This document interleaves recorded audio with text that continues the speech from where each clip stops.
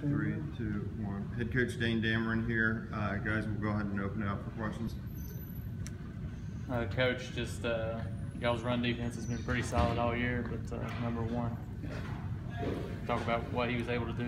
Just, uh, No, we knew we, we knew going into the game we were going to have to stop him. I thought we did a pretty good job, you know, in the first half getting him bottled up. Uh, you know, we couldn't we couldn't do anything offensively to to allow the defense to get off the field there. And you know, I thought after we blocked that field goal and didn't score, you know, I thought that was a huge turning point. And also the first half when we turned them over and, and through the pit going in, had a chance to go up 17 to nothing or 13 to nothing. I thought that was huge. But I think man, it's just a, just a good, old country butt whipping today.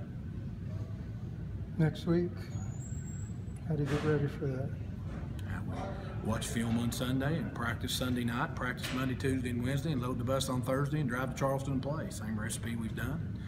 You know, that's the that's the great thing about college football. One time a week, you get a chance to test your manhood.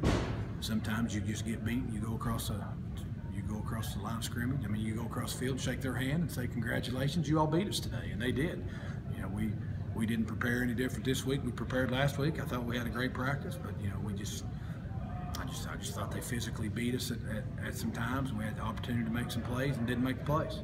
Just talk about this league. I mean, it's there's a small margin for error, right? I mean, Well, I told co- their coach and I were talking before the game, and you know we're mirror images of each other. You know, we've just made plays at the end of the games to win the games, and they haven't. You know, we're we're awful close to being one and nine. Okay, I think everybody needs to understand that. Now, that's a credit to our kids. We've made we've made a whole lot of plays, but there's not been one game where we just like today. We've not done that to anybody.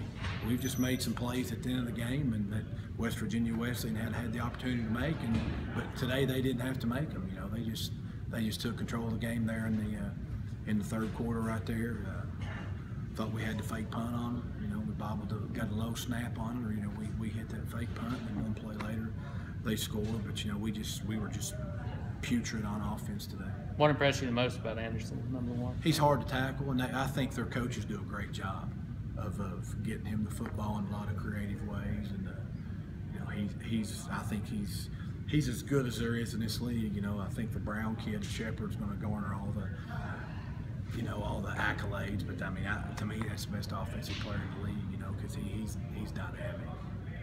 I know individual records don't after a loss like this, but Blair setting the record for career tackles for loss. I mean, 77, I think. Uh, Well, I mean, that's that. that I mean, i this loss isn't going to diminish that. I mean, Gotcha. that's. I mean, that's that's a great job by him, and uh, you know, I'm kind of glad it's behind him now. And now he can, you know, try to scrape over the top and make some tackles instead of trying to shoot through the line of scrimmage and make some tackles all the time. But uh, you know, he's such a hard worker, and, and that's a credit to him, and he deserves that.